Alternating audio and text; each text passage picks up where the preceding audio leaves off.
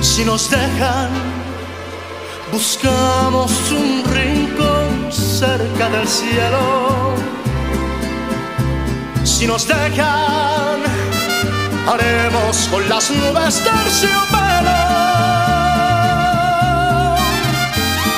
Y ahí, juntitos los dos, cerquita de Dios, será lo que soñamos